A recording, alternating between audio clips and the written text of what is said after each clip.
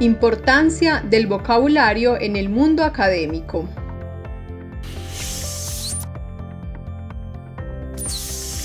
En el mundo académico, el discurso lingüístico y la capacidad que tengamos de influir en las ideas de otros, volviendo colectiva nuestra intención comunicativa, permitirá que nos vayan reconociendo por nuestras reflexiones, críticas y juicios argumentativos, es decir, por nuestras ideas, a esto le llamamos capacidad de convencer y persuadir a nuestro auditorio.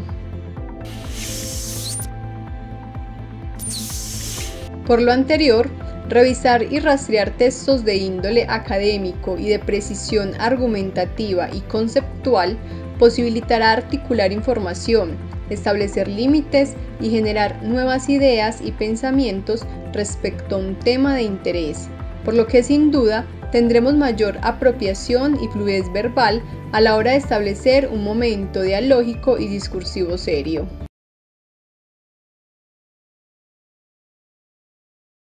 Ahora bien, no es ajeno a nuestro conocimiento que las palabras homónimas, los sinónimos y los antónimos permiten que el locutor se haga comprender con mayor facilidad al momento de emitir un discurso comunicativo sin perder de vista su intención. Sin embargo, estos pueden jugar en su contra, porque podrá generarse reiteraciones innecesarias y esto hará que el interlocutor pierda interés o que el mismo acto discursivo pierda validez académica.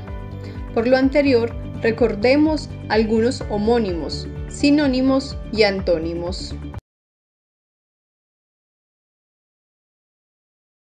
Finalmente, el vocabulario que utilicemos marcará la diferencia y el reconocimiento que tengamos en el mundo académico, no solamente a la hora de emitir de manera verbal un juicio o pensamiento, sino también a la hora de escribir, pues la tarea es un acto comunicativo, siempre será hacernos comprender y que nuestro discurso sea fluido y llegue con la mayor rapidez, practicidad y veracidad posible.